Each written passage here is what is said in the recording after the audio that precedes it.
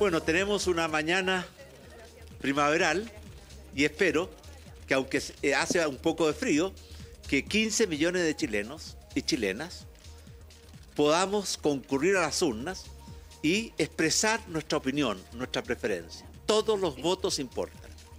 Y además, el voto no solamente es un derecho, es también un deber. Y por eso el voto en Chile es obligatorio. Yo espero que las chilenas y chilenos concurran a votar y así tengamos la posibilidad de tener por fin, después de cuatro años de tanta inestabilidad, de tanta incertidumbre, de tanta confrontación, una constitución aprobada en plena democracia, que nos dé la estabilidad, la unidad, la proyección que Chile necesita. Chile necesita estabilidad, necesita unidad. En primer lugar, para empezar a ganarle la batalla a la delincuencia y poder darle a las familias chilenas más seguridad pero también hay una segunda gran misión, que es sacar a Chile del pantano en que estamos y ponerlo nuevamente en marcha. Que volvamos a crecer, a crear empleos, a innovar, a emprender, a invertir. Yo creo que darle seguridad a los chilenos y darle oportunidad a los chilenos son las dos grandes causas y desafíos que tenemos hoy día. Presidente, muy buenos días. Kevin Felgueras de Televisión Nacional de Chile. Quiero consultarle, bueno, por este proceso en general, eh, pero lo que se espera para el día de mañana. Usted, bueno, manifestaba ahí su, opción, eh, pero independiente del resultado, ¿usted espera que este proceso constituyente que lleva muchos años se cierre por completo, que ya no haya más intentos o si es que hay un resultado desfavorable, ¿usted esperaría que esto se siguiera quizás tramitando en el Congreso Nacional? ¿Qué espera para el día de mañana? Bueno, para hoy esperamos que las chilenas y los chilenos le demos a nosotros mismos, pero también a todo el mundo un ejemplo del espíritu democrático y del espíritu libertario de los chilenos. Para mañana, yo creo que Chile no puede seguir con esta incertidumbre que ya lleva cuatro años y que ha costado tanto en términos de sacrificios, incertidumbres. Y espero que aprovechemos esta oportunidad para aprobar una constitución en plena democracia. Los países que viven enfrentados en una guerra fratricida entre ellos mismos no logran salir adelante. Los únicos países que progresan son los que son capaces, dentro de sus diferencias, de encontrar caminos de diálogo y de acuerdo. Yo espero que la constitución que aprobemos hoy día nos permita tener ese camino de diálogos y acuerdos. Yo estoy seguro que una de las dos opciones, y ustedes saben cuál es, cierra mejor el proceso y nos da mejores herramientas y mejores oportunidades para empezar a derrotar a la delincuencia y la violencia que están desatadas en nuestro país y salir del pantano, un país que está muy estancado. Hoy día Chile está peor que hace dos años atrás.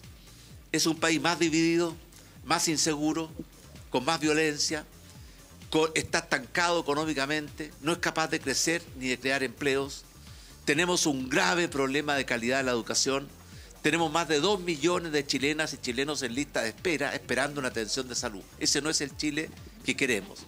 Y por eso yo espero que mañana, cualquiera sea el resultado, y lo puedo asegurar desde el punto de vista de Chile Vamos, vamos a hacer nuestros mejores esfuerzos para enfrentar con más eficacia, decisión y voluntad la violencia y la delincuencia y para poner todas nuestras fuerzas para que Chile se ponga de pie y vuelva a caminar.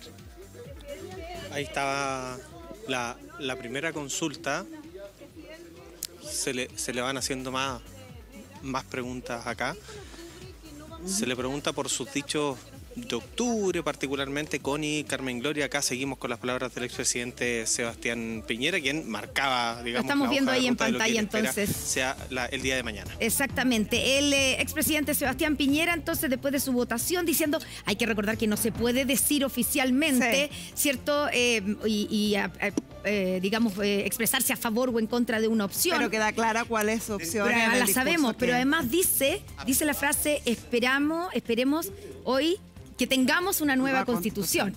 O sea, que es lo mismo que decir que se apruebe la propuesta, porque, eh, porque si no se aprueba vamos a tener la misma constitución que tenemos hoy. y ahí cabe la duda de la segunda pregunta que le hacen, si va a haber un nuevo proceso. Si es que ganara el en contra. Si es que ganara el en contra.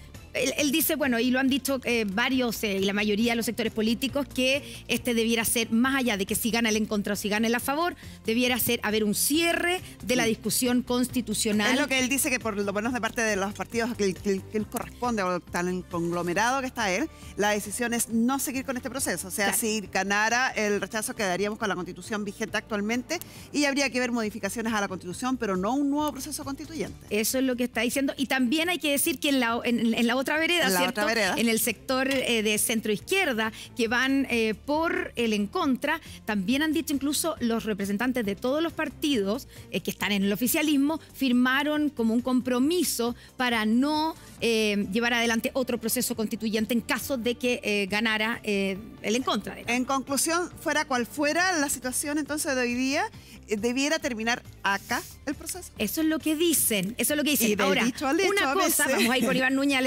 Estadio Nacional, pero una cosa es que no haya un tercer proceso constituyente o constitucional y otra cosa es que empiecen las discusiones de que si nos quedamos con esta constitución hay que hacerle reformas y que no es una discusión precisamente un nuevo proceso constituyente, pero es una posibilidad, es, una, posibilidad abierta siempre, o sea, siempre, se puede modificar una constitución. Más, con más o mayor menor facilidad para modificarla, pero modificar se puede. Exactamente.